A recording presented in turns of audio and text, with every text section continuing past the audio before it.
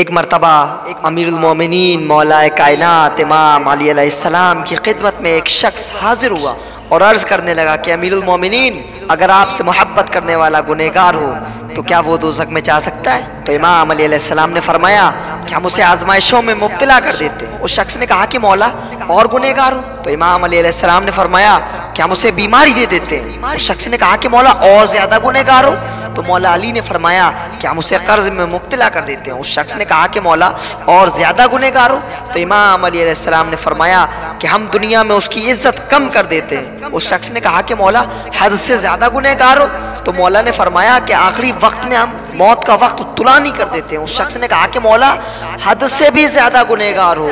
تو امام علی علیہ السلام نے فرمایا کہ جیسا تو سننا چاہتا ہے، ویسا ہونا ہی نہیں ہے۔ مولا کائنات سے محبت کرنے والا دوزخ میں نہیں جا سکتا، لیکن ہمیں محبت جو کرنی ہے وہ حضرت میسم تمار جیسی کرنی ہے، جو زبان کر جائے لیکن ذکر علی نہ چاہے حضرت سلمان جیسی کرنی ہے، حضرت ابوذر جیسی کرنی ہے، صرف دعویٰ نہیں کرنا ہے، محبت کرنی ہے۔ سر چلا جائے، گھر چلا جائے، علی نہ جائے۔ جنت میں یہ کہہ کے چلے جائیں گے ماتھر، شبیر کے قدموں کے نشاں ڈھونڈ رہے ہیں۔ جب ایک ہندو شاعر کا یہ عقیدہ ہے، تو الحمدللہ ہم سارے مسلمان ہیں اور مولا کائنات سے محبت کرنے والے ہیں۔ لیکن ہمیں محبت میسم تمار جیسی کرنی ہے، حضرت سلمان جیسی کرنی ہے۔ مولا تمام مومنین کو سلامت رکھے